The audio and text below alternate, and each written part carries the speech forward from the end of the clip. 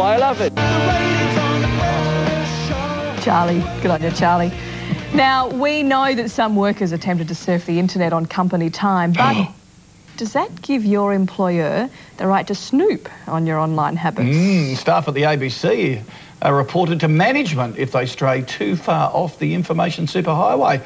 Let's find out what our Wednesday panel thinks of that. Entertainer Paul McDermott and fresh from an online chat room, ABC Radio's James O'Loughlin. Good morning to you both. Now, Good morning. now, now, James, what's Yeah. going on here?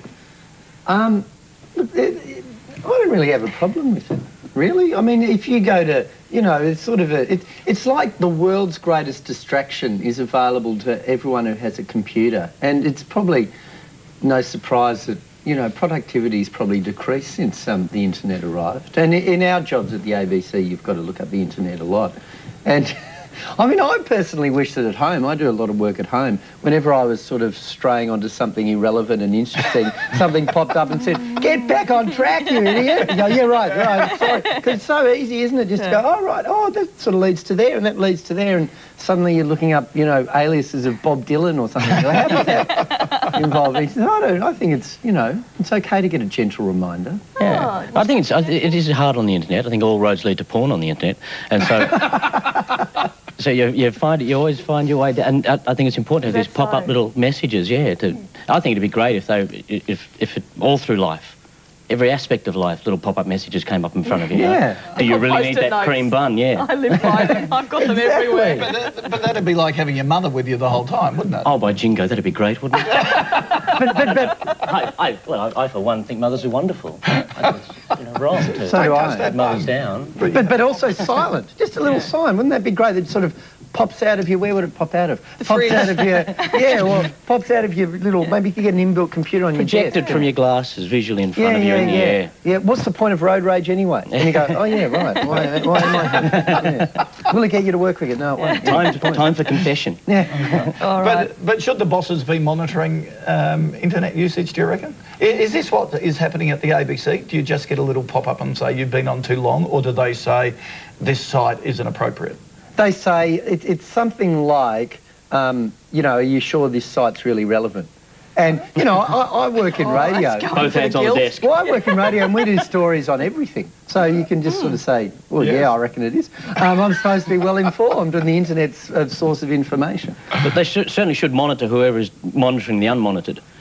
Because you've got the you've got the monitoring now the people that haven't been monitored in the on just a past. So you're going to need uh, someone to monitor the people monitoring the oh. people that were unmonitored. Uh-huh. Yeah, who You know, monitors? who monitors? monitors the people, making sure that you're not going to the sites that you mm, shouldn't be mm, going to. Mm. You need a committee for that, I Yeah, think. glad I put that one up. We're talking about the ABC. right, let's talk about the age-old question of whether sports people should indulge in a bit of sex before the big game. Uh, the French rugby team apparently has a, a no-sex policy in place. They reckon it's going to help them. And they've extended it. It was going to be no sex up to the quarterfinals, and then after The semis. quarterfinals, it was on for young and old. Now they've extended it to past the semis. I think they're going to be quite quite an upset team by the time they take the field. and I, I don't I don't think I'd fancy my chances against a, a lot of sex-hungry Frenchmen. and it's certainly going to bring the the whole uh, run for your life um, concept into in sharp contrast. I think, and it'll run for your wife at the end of it. Do you think it brings more passion to their scrum or their rucking? I, I wouldn't like to be a ball in there. I don't know. I, if I was in a scrum, I wouldn't want there to be a lot of passion in it. I must. Oh, I'm, I'm just thinking. That's, Yeah, yeah. You'll get pretty close and you stick your Eh, heads la, la, la, in. la, la, la. I mean, I think it's wonderful. Uh, Look, having been through periods in my life where I've been on sex bans, although not uh, always from choice, um, I think it's wonderful that they have the choice. Do you think? want one of those pop-up reminders at this point saying, don't go there? Well, it's, good to have, it's always good to have the choice. I don't look. Sex is annoying. It's like being on a food. It's one of the essentials of life, isn't it? It's like being on a food ban. I, I, I think you know, if, because the thing is, they're not bringing their wives out, and I think if I was a month away from my partner and my kitty, I'd just get really grumpy and sulky and depressed and wouldn't play properly. Mm. you know, I'd want them around to go. You know, have a good day at the game, darling. Oh, Yeah. thank you, and I'd go out. Pack your lunch. Yeah, yeah, yeah, yeah. But then would you beat the beat the hell out of the Poms on Saturday night because you are so frustrated and narky? Is that Well, the I- secret plan? I think that that is the goal, but maybe the Brits who are all loved out are just going to be so beautifully soft on the field that they'll they'll come up with the goods. It, de- it depends how you react when you're sort of when you're frustrated and narky. Like some people get really aggro and yeah, and they play well, and some people just get sort of, you know, sulky and morose. And you know, you look for the French guy who's sitting in the corner, not very interested like that, and he's one of the people who hasn't worked for. I mean, we are assuming at the moment that the wives and girlfriends are the only sort of sexual outlet for the French team. Um, the um, Probably best we don't go there. They're staying at their, Bondi. Their rooster mag, um, mascot has had to be sent to a chicken farm to, um, He got to lovesick. relieve himself. Yeah, he got lovesick. Didn't you have to add that last bit? what he's inside with the zipper stuck going, let me out, I'm not real, I'm a person really. We've got a big, big chicken here. I hope they're free-range chickens as well that he's going for, not those cage ones, because that's a whole bondage sort of thing that he's going into. It's getting into freaky areas. All right, I'm going to uh, lift the level of conversation now up from where we are. Let's talk about our mild-mannered PM. He's been getting around London in a bit of a James Bond-style jag on loan from Tony Blair. Now, what do you reckon? It, what do you think he should have in it? Well- what if you had to design the ultimate? But this one's bomb-proof and bulletproof glass Yeah. and the whole thing. Isn't But it? uh, can eggs get through it? I mean, that's the real danger with our Prime Minister. I think there's two things about this. Firstly, Tony, whoever designed it for Tony Blair made a slight mistake. They, they made it uh, impenetrable by rocket launchers and by um, and by grenades and poison gas, but it doesn't doesn't actually protect him from bad press, which has been his main threat over the last few months. And also, I think it's great for John Howard to have it because let's face it, if he didn't have some big fancy car with you know shields and whatever uh, of it in England, no one would probably know who he was. Little flag on the front. What would you put in it though for him? Oh, I think he's got to have uh, some of, uh, if it's a James Bond sort of car, then a couple of the uh, the enemies of James Bond I think would be quite good in there. Yeah.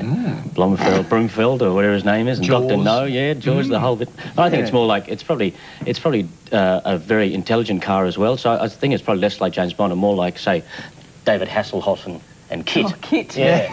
Which should be dangerous, I mean, with a, our Prime Minister having a car that's more intelligent than yourself. That would be. That'd be so irritating, having a talking car. Do you really want to turn left? Yes, I do. Shut up and do it. There's those pop-ups again. They're good, those Jags. They're made by Ford, aren't they? Yeah, they are. The other day? They are. Ford Fantastic. subsidiary. Well done. All right, guys, thank you for that. We'll catch Fun you to next talk week. to you. Thank you. James O'Loughlin and Paul McDermott. Don't forget, Paul McDermott is back on Friday. Oh, you're gonna sing singing again? Yeah, we're going to, yeah. Fantastic. Love it. We want you to do Where Is a Love one day so we know what it sounds like properly. Okay, you're on. We should have had you in our lineup. A different version. Have a good day. Still to come, America's sweetheart Meg Ryan, like you have never seen her before. She's in the nude. Yes, she's certainly exposing a new side of her personality. Also coming up, find out how the honeymoon went. Hmm. A top-selling, a young up-and-coming author who's got a bestseller about to be released will Looks be a bit joining like us him. In the next half She's hour. much prettier. But stay with us. A news hit from Nat. Also, we'll check the weather with Grant. You're watching Sunrise right across Australia. Stick with us.